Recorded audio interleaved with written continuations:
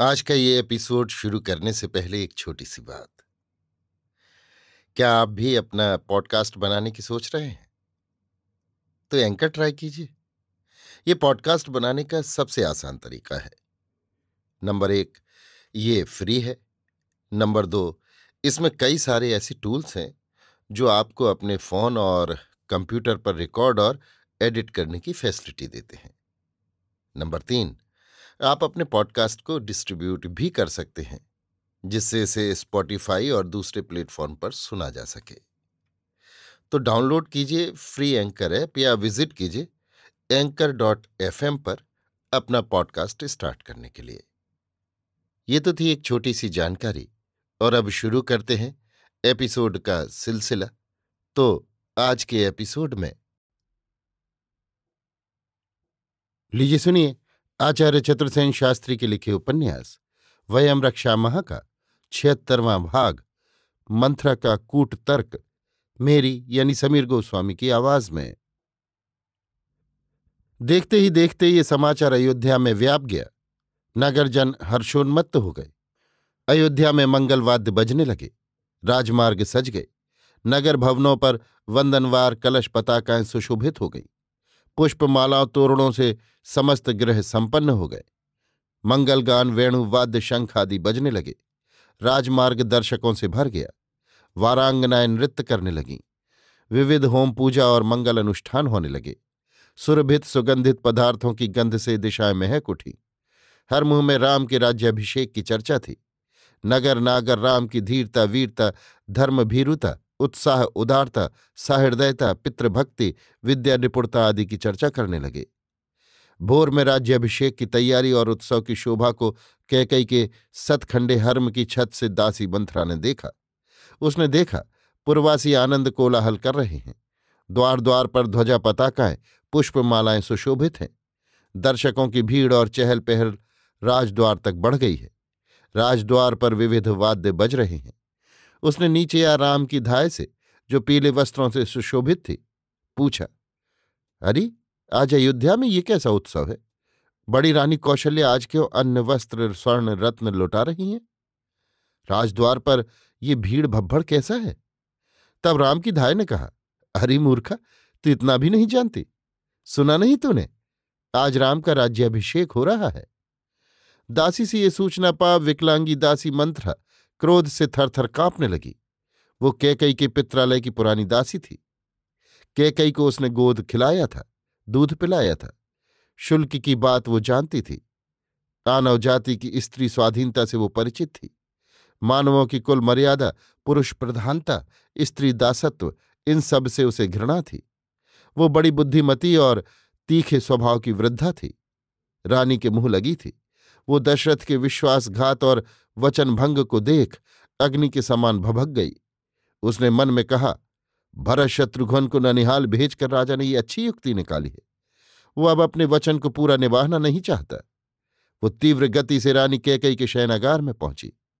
रानी कैकई अभी सो रही थी। वहाँ जाकर उसने रानी से कहा, अरे रानी, क्या आज तेरी निद्रा भंग न होगी? क्या तू नहीं जानती कि तेरा भविष्य आज अंधकार में डूब रहा है? तेरे ऊपर घोर संकट आने वाला है, तेरे पाप का उदय हुआ है, उसका फल तुझे शीघ्र ही मिलने वाला है। राजा मीठी मीठी बातें बना जाता है, तुझे पुष्पहार, आभूषण, रत्न मिल जाते हैं तो तू समझती है, राजा तेरा ही है। पर मैं कहती हूँ हरी अजान, तेरे साथ छल हो रहा है, कोरी प्रवंचना, धोखा, अरे रानी तू धोखा खाएगी। मंत्रदासी की ऐसी कटु व्यंग्योक्ति सुनकर रानी कह कही हंसती, उसने हंसकर कहा अम्ब आज क्या बात है? भोरी ही में तू बकझक कर रही है। किसने तुझे क्रुद्ध किया है बोल? तेरा मुँह क्यों सूख रहा है? क्या कोई अमंगल हुआ है? कैकई की ऐसी मीठी वाणी सुनकर उसने कहा, अमंगल और कैसा होता है भला? आज राम का यवराज्य अभिषेक हो रहा है और तू बेखबर सो रही है। तू समझती है राजा तुझे बहुत प्यार करता है, पर आज तो वो कौशल्या को राजलक्ष्मी प्रदान कर रहा है। अब समझी मैं इसलिए उसने भरत को ननिहाल भेज दिया था। सोच तो यदि राम राजा बन गया तो तेरा क्या हाल होगा? हाय हाय, मैं तो इसी सोच में मरी जाती हूँ। पर तू भी तो कुछ अपना बुरा भला सोच। अपने पुत्र के हित के लिए अब भी सचेत हो। समय रहते सचेत हो। धात्री के ये वचन सुनकर कैकई ने कहा अम्ब राम को यौवराज्य मिल रहा है तो तू दुख क्यों करती है? इसमें दुख और शोक की क्या बात है भला? मैं तो राम और भरत में भेद नहीं समझती। राम और भरत मेरे दो नेत्र हैं। राम का राज्य अभिषेक हो रहा है तो मैं प्रसन्न हूँ। ये तो शुभ समाचार है। ले, ये रत्नहार, ये सब आभूषण मैं तुझे पुरस्कार में देती हूँ। ये कहकर उसने प्रसन्नता से अपने सब रत्नाभरण उतारकर मंथरा पर फेंक दिए। परंतु कैकई के इस व्यवहार से मंथरा और भी जल भुन गई। उसने वे गहने पटक दिए और तमक कर बोली हरी मूढ़, तेरी ये कुबुद्धि मुझे तनिक भी नहीं सुहाती। तू दुख के स्थान पर सुख मना रही है। सौत का पुत्र राजा बने और तेरा पुत्र दास। इसकी तू खुशी मनाए। ऐसी तेरी बुद्धि है। अरे, ये राम राज्य की सूचना नहीं है। हम लोगों की मृत्यु की सूचना है। आज राम राजा बनेगा और कौशल्य राजमाता बनेगी। तब तुम दासी की भांति हाथ बाँध उसके सम्मुख जाओगी। भरत राम का दास होगा। सीता रानी बनेगी और भरत की स्त्री मांडवी उसकी दासी। ये सब तू अपनी आँखों से देख सकेगी। तुझे छोड़ और कौन बुद्धिमती स्त्री ऐसे अवसर पर प्रसन्न हो सकती है? वास्तव में कैकई राम को पुत्रवत प्यार करती थी। उसके मन में तुच्छता का भान भी न था। वो अपने शुल्क की बात भी भूल गई थी। राजा का प्यार तथा अयोध्या का वैभव से प्रिय था। उसने बूढ़ी धाय मंथरा से ऐसे वचन सुन नरमी से कहा, धात्र माता, तू स्नेह से ऐसा कहती है। परंतु राम तो यौवराज्य के सर्वथा योग्य है। वो धर्मात्मा है, उदार सत्यवादी और प्रजापालक है।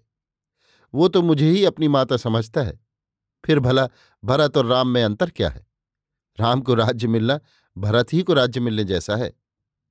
रानी की ये वचन सुनकर मंथरा ने कहा, ठीक ही है, अभी तू नहीं समझेगी, पर जब राम का पुत्र गद्दी का अधिकारी होगा और भरत और उसके पुत्रों को कोई स्थान न मिलेगा, तब सब कुछ तेरी समझ में आ जाएगा।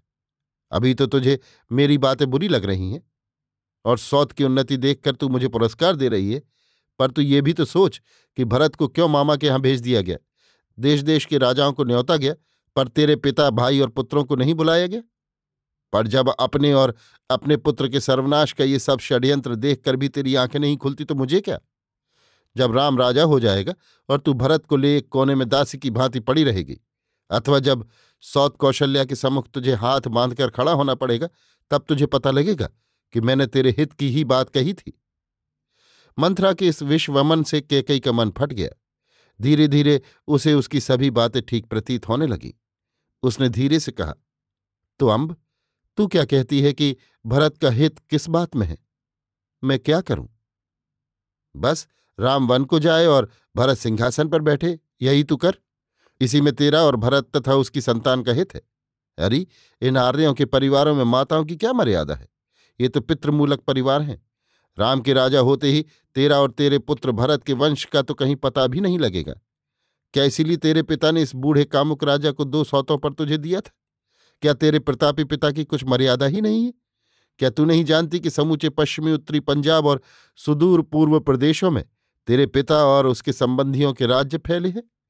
आर्यवर्त का ये कंटक ही तेरे पिता के सार्वभौम होने में बाधा है।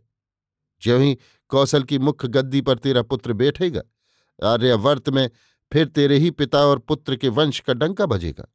तेरे पुत्र का कुल कितना समृद्ध और लोक विश्रुत होगा, ये तो तनिक विचार। तो अम्ब, अब तू ही उपाय कर, जिससे मेरे पुत्र भरत को कौशल का राज्य मिले और राम वन को जाए। बता, अब कैसे हम सफल मनोरथ होंगे? मंथरा ने कहा, इसमें क्या है? राजा ने यही वचन देकर तुझे ब्याह था कि तेरा ही पुत्र राज्य का अधिकारी होगा। सो यदि राजा को अपने वचन की चिंता नहीं है तो तेरा भाई आनव नरेश युद्धाजित खड्गहस्त है। इन मानवों को हम समझ लेंगे। किसका सामर्थ्य है जो तेरे वीर भाई से लोहा ले सके? फिर अभी तो राजा का वचन और तेरा प्यार है। सो तू वस्त्राभरण, अलंकार, त्याग, कोप भवन में जा। मौन हो भूमि में पड़ी रहे। इस बूढ़े कामुक राजा की क्या मजाल, जो वो तेरे कोप को सहन करे। फिर तू खुल्लम खुल्ला उसके वचन भंग का भंडा पोड़ कर दे। राजा अपने को सत्य प्रतिज्ञ समझता है। वचन भंग का लांछन सहन नहीं करेगा। यदि करेगा तो उसके सिर पर युद्धाजित का खड्ग है ही। किसी को भी तेरा विरोध करने का साहस न होगा। राजा तेरी बहुत लल्लो पत्तो करेगा, रत्नाभरण देगा। तू सभी को ठुकरा देना। बस यही मांगना, भरत को राज्य और राम को वनवास। भरत के राज्य करने पर प्रजा भरत से प्रेम कर उठेगी और सबको भूल जाएगी। भरत निश्चल होकर राज्य करेंगे और तू भविष्य में कौशल राजमाता कहाकर पूजित होगी। तेरी सौते और उनके पुत्र तेरे सेवक होंगे। फिर तू उन पर चाहे जितना अनुग्रह करना। ठीक है धात्र माता, अब मैं तेरी ही बात मानूँगी। कह, मैं क्या करूँ? बस विलंब न कर। जैसे मैंने कहा वैसे ही कर। पर सचेत रहे मतलब से मतलब रख। राजा की बातों में न भूल।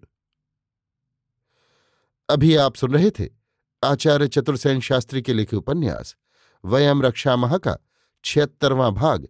मंथरा का कूट तर्क मेरी यानी समीर गोस्वामी की आवाज़ में।